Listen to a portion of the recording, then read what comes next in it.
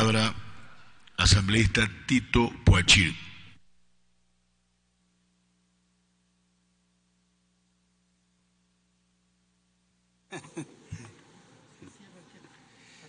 Gracias, señor presidente. Estimados colegas, eh, la Asamblea Nacional, si bien es cierto, la construcción de una vida digna se hace a través de la lucha contra algunas fallas en la justa igualdad de oportunidades. Yo creo que el Ecuador entero está empeñado en luchar justamente contra la discriminación, la postergación por diferentes condiciones o por diferentes razones que se puede dar. Como miembro de la Comisión de Derechos Colectivos Comunitarios y la Interculturalidad, quiero expresar mi satisfacción por la apertura que la mayoría de compañeros, compañeras asambleístas han exteriorizado su apoyo incondicional a esta reforma de la ley, digo, una ley histórica para todos los ecuatorianos y ecuatorianas. Quiero también hacer pues, que también ha hecho, por haber hecho posible importantes cambios al articulado de esta ley, entre los cuales debo mencionar lo siguiente, que son respaldados por las organizaciones sociales como pueblos indígenas, como la CONAIE, la CONFEñay, la Ecuarunari, entre otros sectores de mi querida provincia de Morona, Santiago. Que se mantenga como principal criterio democratizador de la comunicación, la redistribución tripartita y equitativa del espectro radioeléctrico y la reserva de un tercio del espectro radioeléctrico para medios comunitarios, así como la asignación directa de frecuencias radioeléctricas para los pueblos y nacionalidades, la prohibición de la difusión de contenidos discriminatorios y la inclusión de medidas de protección a favor de niñas, niños y adolescentes y de los derechos de las comunidades periodistas, especialmente cuando desempeñan su labor en situaciones de riesgo. De la misma manera, consideramos positivo que se haya ampliado la participación ciudadana en el Consejo de Regulación,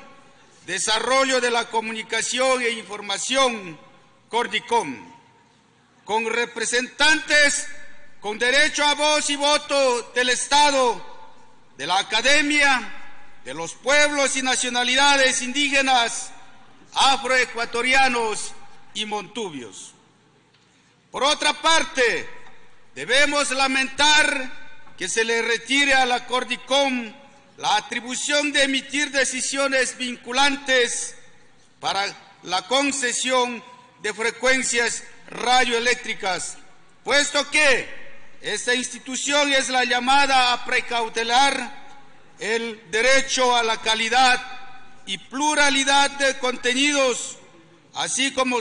a garantizar la democratización de la comunicación. Igualmente,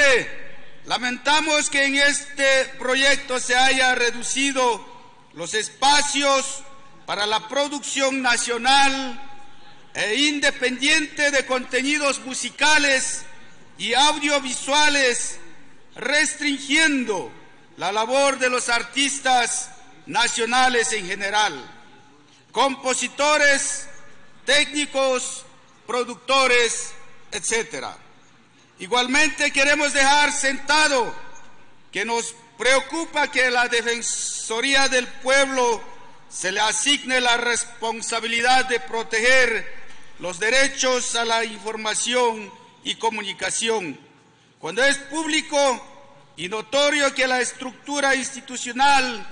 de esta institución impediría esta labor, a más de que dejaría la puerta abierta a la innecesaria judicialización de estos temas.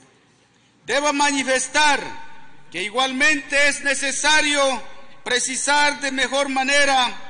determinados conceptos que pueden afectar la aplicación de la ley,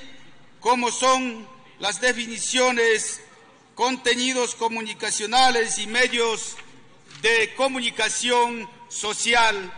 que a pesar de ser fundamentales para el articulado de la futura ley, expresan ambigüedad pudiendo contradecir a otros artículos de la misma ley. Por otra parte, rechazamos la figura de la renovación automática de frecuencias para los medios privados y exigimos que la asignación del espectro radioeléctrico se realice mediante concursos públicos abiertos y transparentes para los privados y comunitarios al tiempo que nos ratificamos en el hecho de que estos concursos se realicen de forma diferenciada en sitios donde haya disponibilidad de frecuencias. Pero en los lugares donde haya saturado del, del espectro, estos concursos se den de manera abierta y equitativa para los dos sectores sin diferenciación de ninguna naturaleza ni de cobertura capaz de que se garantice el porcentaje del 34% para cada uno de ellos. Por último, debo recalcar en la necesidad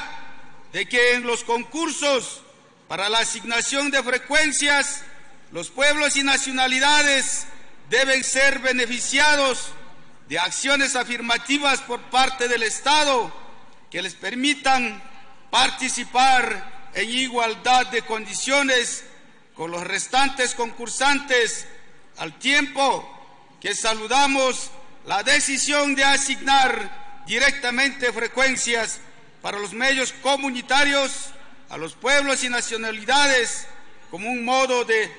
reparación a la histórica marginación que hemos sufrido.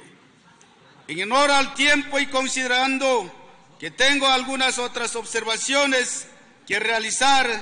estas las estaré haciendo llegar oportunamente al seno de la comisión para que sean considerados en el informe del segundo debate. Estimado presidente, esperamos que esta ley realmente garantice al pueblo ecuatoriano en su conjunto, no marginación, no postergación, sino que tengamos derechos humanos que todos merecemos como ecuatorianos. Muchas gracias.